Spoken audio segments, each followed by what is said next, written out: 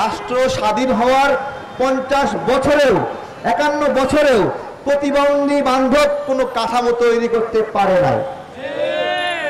প্রতিবন্ধী বান্ধব কাঠামো তৈরি করতে না পারলেও তারা প্রতিবন্ধীদেরকে পিটাইতে পারছে বারবার আমি গতকালকে শাহবাগে দাঁড়িয়ে প্রতিবন্ধী ভাইদেরকে জিজ্ঞাসা করেছিলাম, আপনারা শাহবাগে কেন দাঁড়িয়েছেন? এই শাহবাগেই কেন আপনারা দাঁড়ালেন? আমি জিজ্ঞাসা করেছিলাম যে এই শাহবাগ তো প্রতিবাদীদের জায়গা না। এই শাহবাগ হলো শাহবাগীদের কাছে ইজরা দেওয়া হয়েছে। এইখানে গান গাওয়ার জন্য কোনো শাহবাগীকে হামলা করা হয় নাই। কিন্তু এই শাহবাগ অনেকবার রক্তাক্ত হয়েছে মেডিকেল কলেজের ছাত্রদের রক্ত দ্বারা। অনেকবার রক্তাক্ত হয়েছে পলিটেকনিকের ছাত্র দ্বারা। জাতীয় বিশ্ববিদ্যালয়ের উপর ছাত্রদের উপর হামলা করা হয়েছে এই শাহবাগে। সাধারণ ছাত্রদের উপর হামলা করা হয়েছে। কোটা সংস্কার আন্দোলনের সময় রাবার বুলেট দিয়ে বুক ঝাঁঝরা করে দেওয়া হয়েছে। এখনও আশিকের বুকে সেই বন্দুকের ফুসফুসে ফুসফুসের ভিতরে সেই বন্দুকের গুলি লেগে রয়েছে। এইভাবে সে বেঁচে আছে। এই শাহবাগ রক্তে রঞ্জিত প্রতিবাদীদের অ্যাক্টিভিস্টদের রক্তে। আমি শারীরিক প্রতিবন্ধী ভাইদেরকে জিজ্ঞাসা করেছিলাম, আপনারা এখানে কেন দাঁড়িয়েছেন? এটা তো শাহবাগীদের ইজরা দেওয়া হয়েছে। কোনো শাহবাগীকে গান দেওয়ার জন্য কোনোদিন হামলা করা হয়নি। আপনারা এখানে কেন দাঁড়িয়েছেন? খুব কষ্ট লাগছিল যখন তাদের উপর হামলা হয়েছে। যে শারীরিক প্রতিবন্ধী, শারীরিকভাবে অক্ষম, তারা দাবি করছে প্রধানমন্ত্রীর সাথে কথা বলবে। এইটা কি অযৌক্তিক? তারা বলতে চায় সাড়ে আটশো টাকা ভাতা দিয়ে তারা হয় না। এই কথাটা বলা, এই কথাটা অনেকবার মানববন্ধন দাঁড়িয়ে বলা হয়েছে, অনেকবার শাহবাগে বলা হয়েছে, অনেকবার প্রেস ক্লাবে বলা হয়েছে, সেমিনারে বলা হয়েছে। এইসব বলে কাজ হয় না। সেই জন্য তারা প্রধানমন্ত্রীর সঙ্গে বলতে চায়। যে তার সঙ্গে কথা বললে হয়তো বা সমাধান হতে পারে। এই কথা বলার একটা প্রয়োজন আছে। আপনারা সবাই জানেন, সামাজিক সুরক্ষা বলয়, নিরাপত্তা বলয়ের নামে একটা বাজেট হয় বাংলাদেশে। জানেন না? এই বাজেটের টাকা পেনশন হিসেবে দিয়ে দেবে। সিদ্ধান্ত নিয়েছে। পেনশন হিসেবে দিয়ে দেবে। মানে যারা আজীবন বেতন খাইলো, বুড়া বয়সে ওদেরকে এই নিরাপত্তা বলয়ের টাকা ওদেরকে আবার দিয়ে দেবে। যে টাকাটা প্রাপ্য ছিল শারীরিক প্রতিবন্ধীদের। চিন্তা করতে পারেন। মানে শারীরিক প্রতিবন্ধীদের টাকা দিয়ে দিবে কাদেরকে? ষাট বছর ধরে সরকারি চাকরি করে বেতন খাইছে তাদেরকে দিয়ে দিবে। চিন্তা করা যায়। এবং এই বাজেটটা হলো যে, এই বাজেটে সবচেয়ে মানে পচা যে কাজটি হয়েছে, আপনারা দেখবেন, বাইশ শতাংশের উপরে সরকারি আমলাদের জন্য ব্যয়। বাইশ শতাংশের উপরে। অর্থাৎ একশো টাকা যদি আপনি সরকারকে দেন যে আপনি এটা খরচ করেন সারা বছর, সেই একশো টাকার মধ্যে আমলাদেরকে দিবে কত টাকা? বাইশ টাকার উপরে। সেখানে শারীরিক প্রতিবন্ধীদের জন্য একশো টাকার মধ্যে এক টাকাও নাই। আসেনি? এক শতাংশ? এক শতাংশ আছে? এক শতাংশ নাই। কিন্তু একটা, কিন্তু ভ্যাট দেওয়ার সময়, কর দেওয়ার সময় তাদেরকে ছাড় নাই। আচ্ছা একটা শারীরিক প্রতিবন্ধী যদি একটা বিস্কিট কিনতে যায় দশ টাকা দিয়ে, তার কাছ থেকে পনেরো পার্সেন্ট ভ্যাট নেয় না? ভ্যাট নেয় না? তাহলে নেওয়ার সময় সবাইকে সমানভাবে নিচ্ছে, প্রতিবন্ধীর কাছ থেকে সমানভাবে নিচ্ছে। মানে এমন পলিসি কি নোংরা একটা পলিসি ভ্যাট বাংলাদেশের সবচেয়ে একটা বাজে পলিসি যেই পলিসি ভিক্ষুক এবং কোটিপতিকে সমান হারে কর দিতে বাধ্য করে। এরকম কোন পলিসি হওয়া উচিত না, যেই পলিসিতে একটা ভিক্ষুক এবং একটা কোটিপতি একই কর দিবে। এই পলিসিটাই সবচেয়ে বাজে পলিসি কিন্তু এই বাজেটে এই পলিসি প্রয়োগ করা হয়েছে, ভ্যাটের উপরে গুরুত্ব দেওয়া হয়েছে, করের উপরে গুরুত্ব দেওয়া হয়েছে। তার মানে যারা দুর্বল, তাদেরকে আরও দুর্বল করে দেওয়া হবে। আবার যাদের দেখেন, সাড়ে তিন লাখ মানে তিন লাখ টাকা আয় সীমা ছিল, তাদেরকে কর দিতে হতো। এরকম লাখ লাখ মানুষ আছে তিন লাখ টাকা আয় করে। তাদেরকে কর দিতে হয়। তারা কি বলল? না, তিন লাখ টাকা আয় করলে আর কর দিতে হবে না। বলছে সাড়ে তিন লাখ টাকা সীমা পর্যন্ত তার মানে লক্ষ লক্ষ মানুষকে যারা তিন লাখ টাকা আয় করে, তাদেরকে কর মুক্ত করে দিয়েছে। চিন্তা করতে পারেন কর মুক্ত করে দিয়েছে। কিন্তু যেই খাতে, যেই করটা প্রতিবন্ধীকেও দিতে হয়, ভিক্ষুককেও দিতে হয়, রিক্সা চালককে দিতে হয়, সেইটা দিছে বাড়িয়ে। এই পলিসি প্রতিবন্ধী বান্ধব পলিসি নয়, দুস্থ মানুষের বান্ধব পলিসি নয়, অসহায় মানুষের বান্ধব পলিসি নয়। আজকে রানা প্লাজার কয়েকজন ভাই এবং বোনও এখানে এসেছেন। তাদের মনে অনেক কষ্ট। তাদের একশো সাতাশ কোটি টাকা না আঠাশ কোটি টাকা সরকারের কাছে আটকে রেখেছে, দেয় না। আমি একটা প্রশ্ন করি, যদি রাজনৈতিক প্রশ্ন হয়ে যায়, খালেদা জিয়া খালেদা জিয়া তিন কোটি টাকা ব্যাংকে রেখে দেওয়ার জন্য বছরের পর বছর জেলে থাকে। তাহলে রানা প্লাজার শারীরিকভাবে যারা প্রতিবন্ধী হলো, বিকলাঙ্গ হলো, তাদের একশো সাতাশ কোটি টাকা, আঠাশ কোটি টাকা আটকে রাখার জন্য কত বছর শেখ হাসিনার জেল হবে? বলেন, রাজনৈতিক একটা প্রশ্ন করলাম। মন খারাপ করবে অনেকে যে কার সাথে কি মিলাই? কার সাথে কি মিলাই? কিন্তু ঘটনা তো ঘটছে, তাই না? বাবা, ঘটছে না ঘটনা? হাত তুলে দেখায় তো, ঘটছে নাকি? ঘটছে। আর এক পরে তো লন্ডনে গিয়ে মিটিং করছে। রানা প্লাজার প্রতিবন্ধীদের জন্য চান্দাবাজি করছে ওখানে গিয়ে। সংগঠনের নাম বলব? নাম বলব? নিষেধ করতেছে, ভয় পাচ্ছে। সাংবাদিক ভাইরা খুঁজে নেবেন। লন্ডনে গিয়ে রানা প্লাজার মিটিং করছে মিটিং করে টাকা তুলছে, কিন্তু সেই টাকা রানা প্লাজার ভাইদের জন্য দেয়নি। চিন্তা করতে পারেন। মানে ওরা হলো ভিক্ষুকের চেয়ে বড় ভিক্ষুক, যারা প্রতিবন্ধীর টাকা মেরে খায়। ভিক্ষুকের চেয়েও বড় ভিক্ষুক ওরা প্রতিবন্ধী টাকা মেরে খেয়েছে।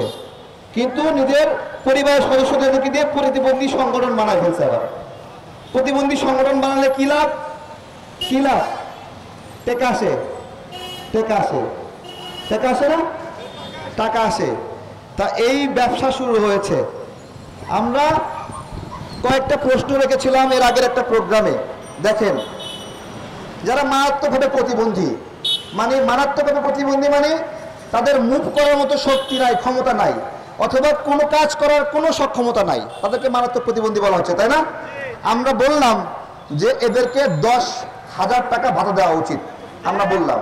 এবং মধ্যম প্রতিবন্ধী যারা, তাদেরকে পাঁচ হাজার টাকা, যারা লঘু প্রতিবন্ধী, তিন হাজার টাকা ভাতা দেওয়া উচিত। সরকার একটা হিসাব দেখিয়েছে যে আঠারো হাজার টাকা মাথা পিছু আয়। কত টাকা? আঠারো হাজার টাকা। যদি মাথা পিছু আয় আঠারো হাজার টাকা আপনি দেখান, এবং সেটা যদি প্রতিবন্ধীর আয় হয়, তাহলে প্রতিবন্ধীর ভাতা কেন সাড়ে আটশো টাকা? প্রশ্ন আমার। কে উত্তর দিতে পারবে? কেউ দিতে পারবে উত্তর? সাড়ে আটশো টাকা। নাজির বলে গেল, এক কেজি গরুর মাংস কিনলে তো সাড়ে আটশো টাকা শেষ পরিবারের জন্য। তাই না? তাহলে সারা মাস কেমনে চলবে? পলিসিটা কি? দেখেন, সোজা হিসাব। বাংলাদেশের প্রতিবন্ধী সংখ্যা কত? সরকারি হিসেবে পঁচিশ লাখ। আর বেসরকারি হিসেবে কত? এক কোটি। আপনাদেরকে আমি বলি, আপনারা যদি ষোলো জন মানুষ, ষোলো জন মানুষ মানে ষোলো জনে একজন, নাকি প্রতিবন্ধী? প্রতি ষোলো জনে একজন। আচ্ছা ষোলো জনে একজন মানুষকে খাওয়াতে পারে না? সোজা হিসাব দেখেন। পারেনি। ষোলো জনে একজন মানুষে খাওয়াতে পারে। মানে ষোলো জনের ভাত রান্না হলে একজন মানুষের সেখান থেকে দিয়ে দিলে ষোলো জনের খাওয়ার কম হয় না। হয়? হয় না। তার মানে আমাদের যে বাজেট রাষ্ট্র ব্যবস্থাপনা, সেই অনুপাতে প্রতিবন্ধীদেরকে যদি সেবা দেওয়া হয়, ভাতা দেওয়া হয়, ষোলো জনে একজন, তাহলে দেশের মানুষের কোনো সমস্যাই হবে না। এবং সেই হিসাবেই কিন্তু সামাজিক নিরাপত্তা বলয়ের অর্থটা সংরক্ষিত হয়। ভালো করে শোনেন। তাহলে এই সামাজিক নিরাপত্তা বলয়ের অর্থটা গেল কোথায়? আমার প্রশ্ন, কোথায় গেল সামাজিক নিরাপত্তা? ওই যে নাটক করে, সিনেমা করে, চলচ্চিত্র করে, তারা অসুস্থ হলে গিয়ে ষোলো লক্ষ টাকা নিয়ে আসে, বারো লক্ষ টাকা নিয়ে আসে, ওইখানে খরচ করছেন তাই না নিরাপত্তা বলয়ের টাকা? ওইখানে খরচ করছে না? করছে না? তাহলে তাহলে যে নাটক করে, ওর চোখের কান্না আপনার মনকে নরম করতেছে, কিন্তু প্রতিবন্ধী ব্যক্তির কান্না মনকে নরম করতেছে না। কাজে দিচ্ছে না। এই জন্যই আমরা বলেছি যে দশ হাজার টাকা তাদের মাসিক ভাতাটা দিতে হবে। এবং দেখেন, সবচেয়ে নোংরা কাজ করেছে এদের সমাজ কল্যাণ প্রতিমন্ত্রী। এই শয়তানে কয় যে প্রতিবন্ধীদের হাত নাই ওরা কাজ করবে কীভাবে? ওরা কর্ম করবে কীভাবে? লিখতে পারবে না। আরে ভাই মানে লিখাই একমাত্র শিক্ষা নাকি? শিক্ষা কি জিনিস? শিক্ষা মানুষের অর্জিত জ্ঞান। এটা লিখতে পারা বা হাঁটতে পারা বা শুনতে পারা বা বসতে পারার সাথে সম্পর্ক নাই এটা। হ্যাঁ লিখতে পারার সাথে সে লিখার অভিজ্ঞতা অর্জন করে, এটা অংশ। কিন্তু এটা একমাত্র অংশ না। এটা একমাত্র অংশ না। এই যে ভাই, শারীরিক প্রতিবন্ধী, হাঁটতে পারে না। সে হাঁটতে পারে না, কিন্তু তাই বলে তাকে আপনি অশিক্ষিত বলতে পারবেন না। এই যে শারীরিক, এই যে অন্ধ ভাই এখানে আছে, এই যে একজন শারীরিকভাবে খাটো। কয় ফিট আপনি? আপনার উচ্চতা কয় ফিট? তিন ফুট উচ্চতা। এই তিন ফুট উচ্চতার মানুষ, সে লেখাপড়া করে বলছে, আমি পরীক্ষা দিলাম, পাশ করলাম, আমাকে কোটায় একটা চাকরি দেন। উনি বলছে, আমি পাশ করলাম, আমাকে চাকরি দেন। এটা দাবিটা অন্যায্য নাকি বলেন? দাবিটা অন্যায্য? হ্যাঁ? উনি মানলাম, উনি হাঁটতে পারে না। কিন্তু উনি পঞ্চাশটা শিক্ষার্থীকে হুইল চেয়ার দিয়ে ঘুরায় ঘুরায় প্রেস ক্লাবে যেহেতু আসতে পারছে, ক্লাসের রুমের মধ্যে ঘুরায় ঘুরে বাচ্চাদেরকে পড়াতে পারবে না? উনি তিন ফুট খাটো বলে ওনার ব্রেন কি কম নাকি? ব্রেন কি ওনার কম, আমার প্রশ্ন। তাহলে এই যে ছোট করছে, অসম্মান করছে প্রতিবন্ধীদেরকে, এরা তো সবচেয়ে বড় মানসিক প্রতিবন্ধী। ওর ট্রিটমেন্ট দরকার। ওরা পাবনা পাগ গাড়াতে পাঠাও তাড়াতাড়ি। তাড়াতাড়ি পাবনা পাগ গাড়াতে পাঠাও। এইভাবে অসম্মান করছে, ছোট করা হচ্ছে। সারা বিশ্বে প্রতিবন্ধীদের জন্য ন্যায় সঙ্গত ব্যবস্থাপনা আছে। সব জায়গায়। কেন আছে? যে সমাজে পিছিয়ে পড়া মানুষগুলো তাদের প্রতি একটা দায়িত্ব। আপনাদেরকে একটা কথা বলি। মানে একবার ন্যায্য কথা বলি। আপনারা যখন আপনাদের আত্মীয় স্বজনের বাসায় যান, মহব্বত করে খাবার নিয়ে যান না? নিয়ে যান না? যাননি? যান না? আপনার পাশে আপনি অসহায় মানুষদেরকে সাহায্য করেন না? এই জিনিসটা বৈধভাবে স্বীকৃতির মাধ্যমে প্রতিবন্ধীদের দিলে সমস্যা কোথায়? তাই নয়। স্বীকৃতি হবে যে এটা ভিক্ষা না, এটা আপনার অধিকার। তাই নয়? এখন প্রশ্ন হলো যে এগুলো কেন দিচ্ছে না? কেন দিচ্ছে না এগুলো?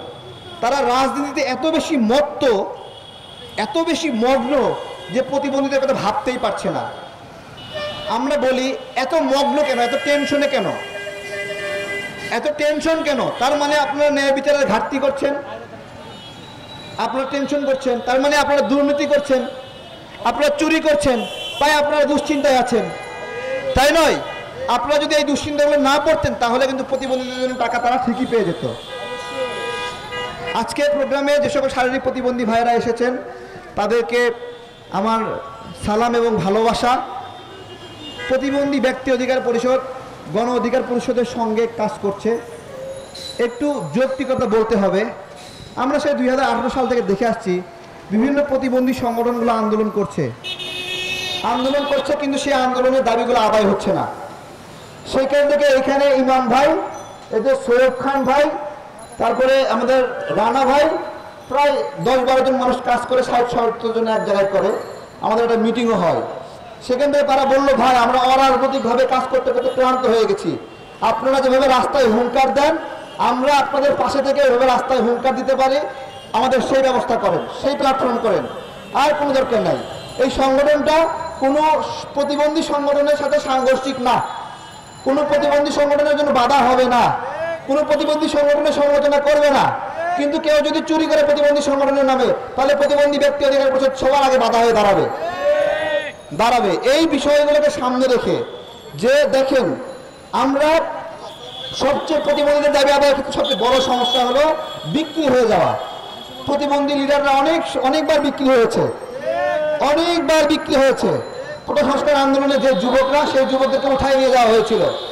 সেই যুবকদেরকে উঠাই নিয়ে যাওয়া হয়েছিল। আমি ছিলাম, আমাদের পাঁচজনকে তুলে নিয়ে গেছিল। এই গাড়ির চাবি সামনে রেখেছিল আমাদের। বাড়ির কথা বলেছে, টাকার বান্ডিল সামনে রেখেছে। আমরা নেই নাই। এটা ইমাম ভাইরা জানে যে আমরা কখনো বিক্রি হই নাই। অন্তত এই সংগঠন বিক্রি হবে না। এবং এই সংগঠন এইরকম না দশ জনের চাকরি হলে দশজন চলে গেলে সংগঠন বিলুপ্ত হয়ে গেল। এইরকম না। ইনশাল্লাহ এখানে ইমাম সৈয়দ খান সহ যারা আসছে, তারা ক্যারিয়ারের মায়া ছেড়ে দিয়ে আসছে। লক্ষ লক্ষ প্রতিবন্ধীর মধ্যে তিনজনের চাকরি না হলে কি হবে? এই ভাই, কি হবে বলো কি হবে? দাবিটা তো আদায় হবে ইনশাল্লাহ সামনে কোনো কথা নাই ডাইরেক্ট অ্যাকশন হবে। নরম নরম সুরে কথা বলেছে, শোনে না। নরম নরম সুরে দাগ দেয়, শোনে না। আপনারা ওই দিন শাহবাগে এই যে প্রতিবন্ধীদের গুটা দিচ্ছেন ঠিক আছে? এই প্রতিবন্ধী ভাইদের হাতে ঠ্যাঙ্গা ছিল। ছিল না? যদি ঠ্যাঙ্গাটা হাতে লয়ে একটা বাড়ি দিত টিকতে পারতেন আপনারা? বলেন। টিকতে পারতেন? অঙ্গদের হাতে সাদা ছড়ি ছিল।